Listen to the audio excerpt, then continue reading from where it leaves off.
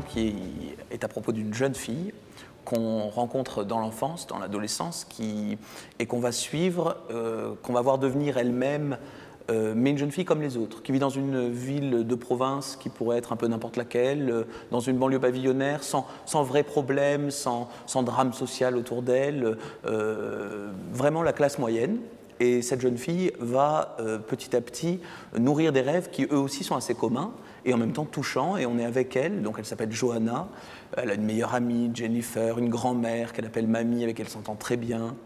Euh, des parents euh, avec qui elle s'entend bien parfois et pas bien toujours, euh, un petit frère avec qui là aussi ça peut frotter, sans jamais que ce soit grave, mais on est vraiment avec elle, on voit tout ça se mettre en place et on apprend à la connaître et on grandit un peu avec elle. Ses premières histoires d'amour, ses premières envies aussi, ses premiers désirs, qui sont un peu les envies et les désirs de tout le monde, c'est-à-dire que, en tout cas, qui sont des envies et des désirs assez communs, puisque très vite, elle va avoir envie d'être enviée et elle va désirer être désirée par les garçons et donc enviée par les, par les autres filles.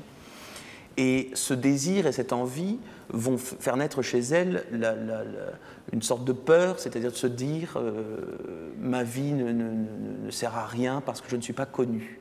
Parce que ceux qui sont connus, leur vie, c'est quelque chose, c'est vraiment quelque chose. Il y, a, une sorte de, preuve euh, qu'ils ont existé à partir du moment où les autres l'ont connu et qu'ils ont été reconnus comme êtres vivants.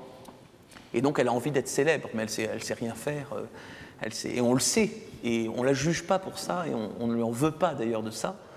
Euh, puis elle ne sera pas connue et pas reconnue. le roman avance, et un jour, on va lui faire une proposition. On va lui proposer de participer à une émission d'un genre nouveau. On grandit avec elle dans les années 90 des années euh, où Internet n'était pas là comme aujourd'hui, euh, beaucoup moins présent qu'aujourd'hui, pas de téléphone intelligent, et euh, où on regardait beaucoup la télévision. Et chez elle, on regarde beaucoup la télévision, mais là encore comme ailleurs, et sans que jamais que je porte de jugement vis-à-vis de ça. Et elle veut passer à la télévision parce que comme on la regarde beaucoup, elle se dit tout d'un coup je serai vue, même par mes parents qui au lieu de me regarder moi parfois regardent plutôt la télé que moi. On va lui proposer de participer à une émission d'un genre nouveau, une émission de télé-réalité qui montrera les vrais gens. Et nous, on la connaît déjà, donc, euh, et parce qu'on la connaît, euh, l'idée du roman, c'était de faire quelque chose que la télé-réalité n'a jamais fait.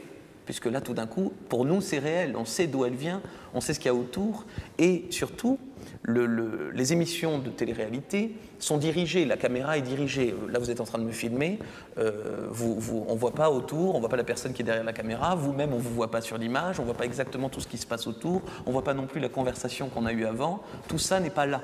Dans un roman, on peut le faire. Tout d'un coup, au lieu que ce soit dirigé, c'est panoptique. On donne vraiment à voir le réel parce qu'on peut tourner et voir les caméramens et voir ce qui se passe aussi dans la tête des candidats que ne montre jamais la télé-réalité. Donc l'idée, c'était de, de vivre ça avec elle et de montrer ça, mais de le montrer comme une, aventure, comme un roman, une histoire. On suit, on espère avec elle. Est-ce qu'elle va gagner ou pas Qu'est-ce qui va se passer après Est-ce que ça va lui apporter ce qu'elle espérait trouver? Et en même temps, tout en corrigeant, ou en tout cas en, en faisant ce que la télévision n'a jamais fait, c'est-à-dire qu'en donnant à voir le réel, on réussit aussi à faire quelque chose d'autre que la télé-réalité n'a pas réussi. On réussit à faire quelque chose de beau. L'idée aussi, c'était qu'il y ait une langue au service de cette réalité-là euh, et une esthétique que jamais la télé-réalité, souvent ces émissions sont très laides. Là, euh, euh, alors même que le phénomène est très banal, que le personnage est très commun, on la montre dans sa singularité avec une langue qui, rend les choses belles parce qu'elles sont réelles, parce qu'elles sont vivantes. Et, comme ça, on, participe à, son histoire avec elle, on la suit.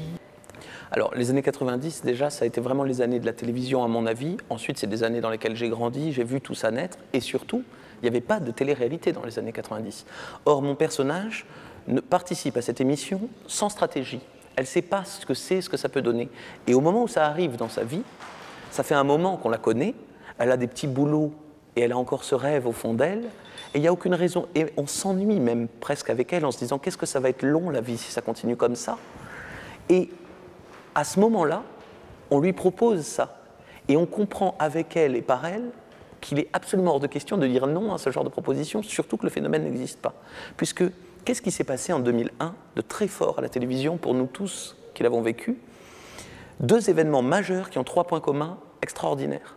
les tours jumelles qui s'effondrent, qui sont une sorte d'émission de télé-réalité. On l'a vécu à la télévision en réel, euh, là, devant nous, et la première émission de télé-réalité en France.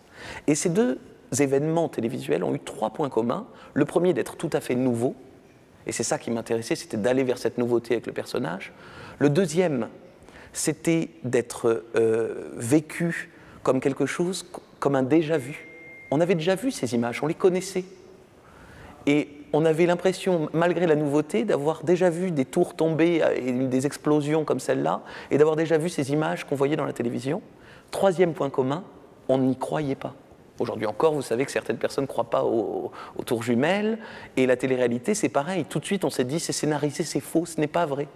Et, ces événements, euh, qui sont par ailleurs évidemment totalement dissemblables, ont eu ces trois points communs qui les rendent intéressants, et d'autant plus intéressants que, euh, évidemment, la, perspective du roman permet d'aller avec les personnages, euh, et, dans une perspective naturaliste, réaliste, vers cet événement qui à la fin est incroyable dans tous les sens du terme et qui pourtant est réel, puisque l'émission de télé-réalité, si elle ne montre pas le réel, en revanche, elle comme phénomène, c'est bien un phénomène réel.